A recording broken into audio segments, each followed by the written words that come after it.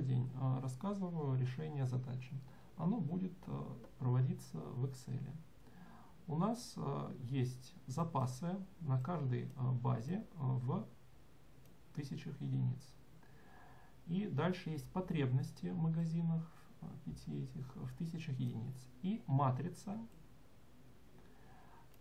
Как читать эту матрицу? Это означает, что затраты, например, на перевозку из третьего магазина, из третьей базы в четвертый магазин составляют 3000 едини, денежных единиц. А дальше у нас э, перевозимое количество, это то, что нам нужно найти. И затраты рассчитываются суммы, по функции сумма произведений.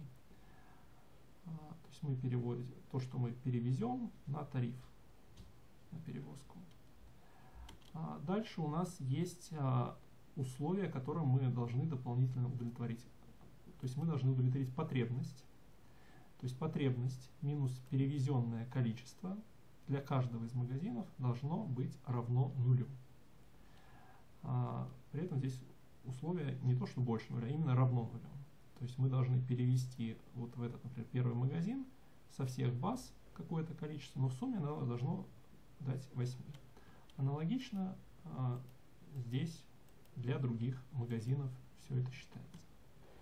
А, и дальше мы считаем остатки на базах. Они считаются как начальное количество минус то, которое а, будет перевезено. А, и а, теперь как решается эта задача. А, то есть по сути мы здесь записали все эти формулы, условия, и дальше мы а, пользуемся бесплатным а, встроенным в Microsoft Excel программным обеспечением а, по-английски называется Solver, а здесь это называется поиск решения. Эту настройку можно установить. А самостоятельно смотрите в интернете, как это делается. У нас есть целевая функция затраты, мы минимизируем минимальными затратами. Видите, в условиях написано.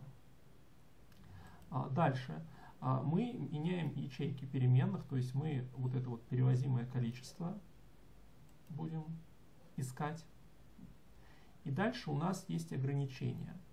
А, вот это вот ограничение О17, это и есть как раз а, то, что потребность удовлетворена. А для первого магазина PL17 равно нулю, для второго и так далее. Дальше у нас здесь в конце идут базы. То есть первая база, ячейка T18, она у нас равна нулю. То есть нам нужно по условию необходимо освободить первую базу полностью. Но для остальных баз также важно условие, что остатки для них должны быть, э, после того, как мы что-то перевезем, больше либо равны нулю. То есть отрицательные остатки по определению невозможны. А, и дальше э, здесь по умолчанию, например, мы можем искать это э, поиск решения нелинейной задачи методом ОПГ. А, соответственно, ищем решение. Вот. И, соответственно, мы нашли найденное решение. Ну, дополнительно здесь можете проанализировать результаты, устойчивость, пределы и так далее. Вот. Здесь есть дополнительный функционал. Итак, как мы можем интерпретировать данные условия? Допустим, вот у нас нужно было 8 перевести товаров, потребность была 8, соответственно, мы берем 3 из первого магазина, из третьего магазина и 5 из четвертого. И суммарно у нас получается 8 как раз. А, вот, а, и так далее. А, то есть, э, ну вот в этот магазин, в четвертый, например, даже из трех баз.